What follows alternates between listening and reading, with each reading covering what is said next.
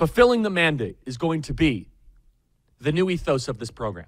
From now until high noon on January 20th, when President Donald Trump says, So help me God, and lifts his hand off the King James Bible, this program will be primarily focused on fulfilling the mandate. You, the American people, gave the president and gave his entire team, gave all of us marching orders.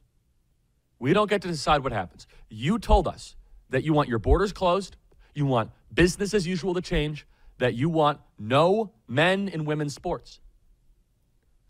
And keeping the feet to the fire is incredibly important on this. But I have to say, I, being at least seeing, witnessing some conversations and being part of some, I was so encouraged that at least a week in, this is not the good old boys network that is rolling in. And let's look at just some of the picks that President Trump has made. Now, mind you, the Elise Stefanik pick is not confirmed. it, it is not confirmed. So that is, if you have not seen it on President Trump's Truth Social, it is not confirmed. Okay? However, Susie Wiles, amazing. She earned it. And then the one that is confirmed, Tom Homan, the beast, the man. Officially, the border czar. This is how important the border is to President Trump. Fulfilling the mandate. Former ICE director. I do a chief of staff number one and a border czar number two. That's pretty important, everybody. Think about that. Chief of staff, border czar, right out of the gate. President Trump is obsessed with making sure that he does what the American people voted for telegraphing priorities.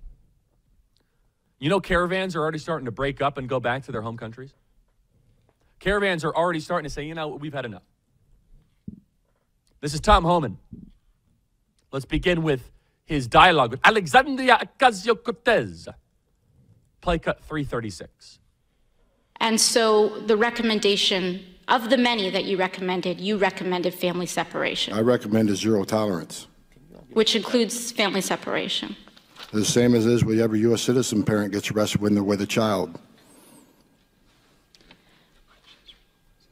Zero tolerance was interpreted as the policy that separated children from their If I get arrested for DUI and I have a young child in the car, I'm going to be separated. When I was a police officer in New York and I arrested a father for domestic violence, I separated that father Mr. from his Homan, with all due respect, legal asylees are not charged with any crime.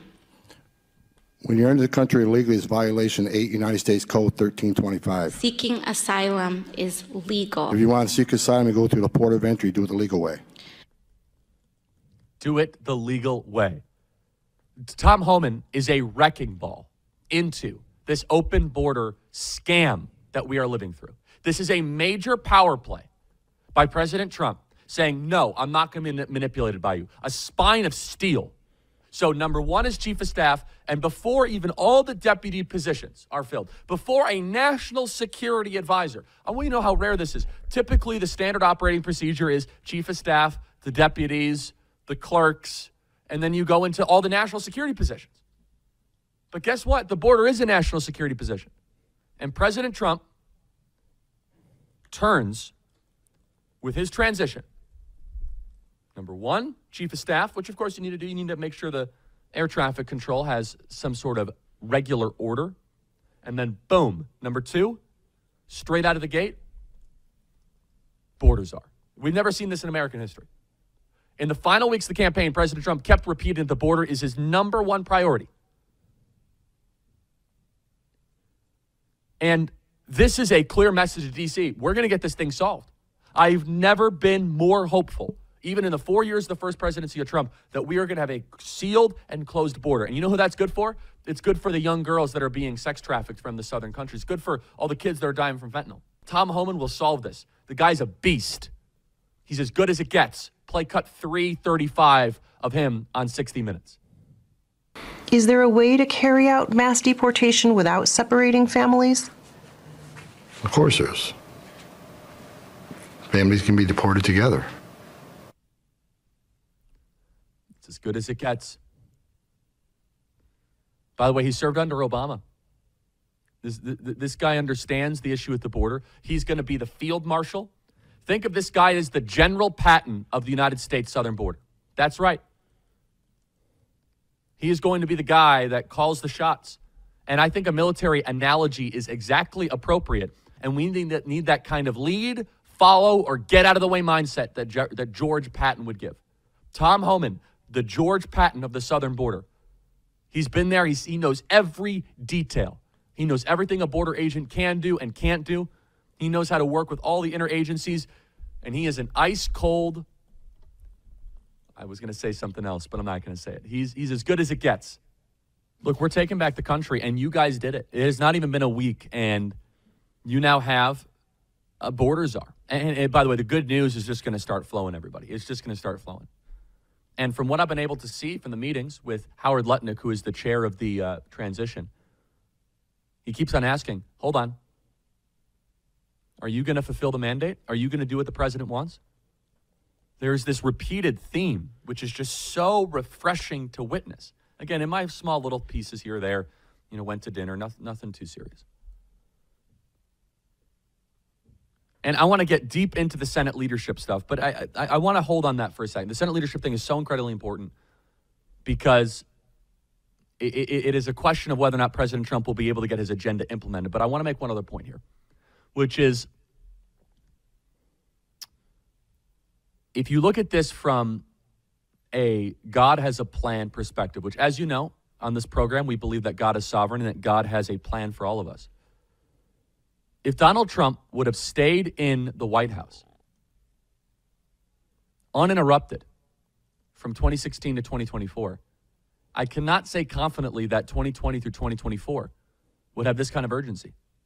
I mean, the, the, the energy and the focus and the determination I mean, Susie Wiles is just doing terrific from organizing everything. Does it fit in to what we told voters? In fact, I saw somebody with the transition team, they had something printed. You know what it was? It was all the promises that President Trump made on the, on the campaign trail. And he said, This is what we're focused on. Boom, boom, boom. There's not some sort of other agenda like when Joe Biden or Kamala Harris. What you heard from President Trump in public is now getting executed in private. It's getting acted upon in private. Accountability is incredibly important. And again, I, I, of course, I want to manage your expectations, everybody. There'll be good picks, and then there'll be picks that you know you scratch your head. There, of course, going to have to be some deal making because it's it's DC. However, the the direction is just going to be ter- is just tremendous. It's terrific, actually. So the American people delivered a clear and resounding message, heard around the world the greatest comeback story in American history. Do we have Jon Karl from ABC News, by the way, this last weekend, saying that this has never happened before in American history? I know I sent it yesterday. It's a terrific clip. And we can't move on, by the way. You know, somebody said, Charlie, when do I stop celebrating? There, there is no end to this. I want to be very clear. You are entering a golden era for America. And yeah, look, they might try some big economic collapse thing. They might try some sort of, uh, okay, but bring it on. We're ready for it this time. This is a team of all stars that has been hardened by the COVID propaganda. I know myself, I, I am a better communicator, better person. I am wiser because of what I went through through COVID. And a lot of people died. But you look back at that and you say, you know what? We turned something really awful into something pretty good. What the enemy means for evil, God will use for good. Genesis 50 20, one of the last scriptures of Genesis. And so here we are with the table set to act upon all the things the president said. This is Jon Karl from ABC News, cut 344, please.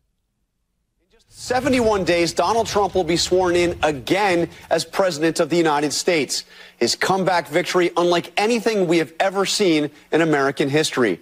Just take a look at the final results. With Arizona now projected for Trump, he locks in a sweeping victory in every single battleground state. And Trump did more than that. He made big gains with young voters and with Latinos, doing better among Hispanic voters than any Republican presidential candidate since the first exit polls were conducted in 1976. He even did better among women than when he ran against Joe Biden. Even did better with women. Look, everybody, you guys did this. Every day I said, What are you guys doing? And honestly, the emails that we've received are breathtaking. There is one man, and I feel really bad about this guy because it's just, it, he should sue. This one guy that drives a truck, what was his name again, Mikey?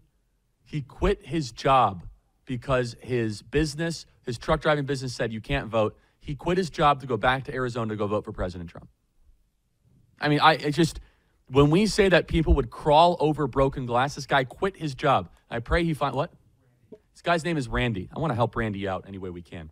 We should help him out if, if he gets in a financial um, issue there. That's what this movement is all about. There's a grittiness, there's a hustle, there's a determination to the core of this movement. And you guys took the country back. And it's not as if you took the country back and all of a sudden you got a bunch of stuff, you know, that uh, is not going in the right direction. You voted for a secure border. You got the best the business has to offer.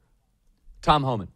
Everybody, thanks so much for watching. Make sure you hit the subscribe button and hit the bell. We're doing so much good work here at Turning Point USA. Also, get your tickets to AmFest. That's amfest.com, the biggest party of the year in Phoenix Convention Center. We have Tucker Carlson and really big speakers coming. I'll be there. It's going to be unbelievable. Meet your future husband, future wife. It's going to be great.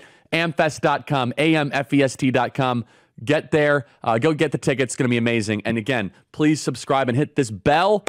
We appreciate it. And if you listen to audio podcasts, subscribe to the Charlie Kirk Show podcast. That's Charlie Kirk Show podcast. We won, everybody. We won. I need to get this hat. Daisy, can you get me one of these hats? We won. And uh, if you guys want a limited edition signed MAGA hat right here, last thing I'll say is become a member, members.charliekirk.com to get a limited edition MAGA hat. We have 5,000 to send out, don't we, Daisy? Over, like 8,000 now. We have 8,000 hats I have to sign.